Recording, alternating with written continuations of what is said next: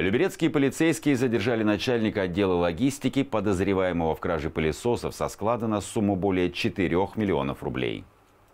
Сотрудники уголовного розыска Межмуниципального управления МВД России Люберецкая задержали 29-летнего жителя городского округа подозреваемого в совершении крупной кражи партии бытовой техники. В дежурную часть полиции поступило заявление от руководителя фирмы о том, что при инвентаризации товара, хранящегося на складе в городском округе Дзержинск, обнаружена недостача 122 электропылесосов и робот-пылесосов общей стоимостью более 4 миллионов рублей. В результате оперативно-розыскных мероприятий полицейские установили и задержали подозреваемого в совершении противоправного деяния по месту временного проживания. Им оказался начальник отдела складской логистики.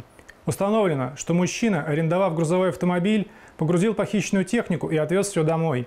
При обыске квартиры задержанного полицейские обнаружили и изъяли 74 пылесоса.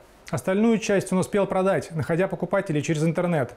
В отношении злоумышленника возбуждено уголовное дело и избрана мера пресечения в виде домашнего ареста.